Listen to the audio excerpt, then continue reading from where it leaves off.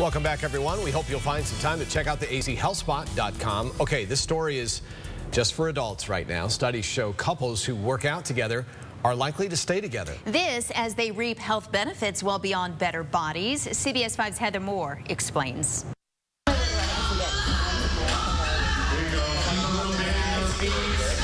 When it comes to working out as a couple, there's a whole lot to gain besides muscle. It's time to spend together, and not away. I think it brings us closer together. Jordan Burke and Nicole Bjorklund have been a pair for three years.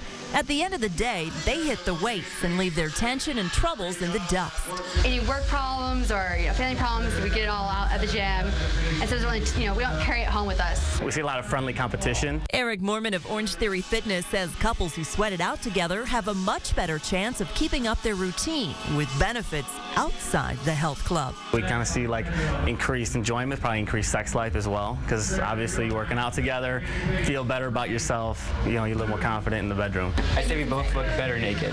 I'm all about the body. A healthier sex life obviously leads to a, a better relationship. Dr. Michael Yasinski counsels couples all the time. He actually prescribes working out physically as a way to work things out emotionally. If you have a devoted time of an hour to spend with each other to work out, then you're getting a solid hour of not only time but quality time where the interaction's positive and that's something that often goes missing with two stressed out people who don't find the time for each other.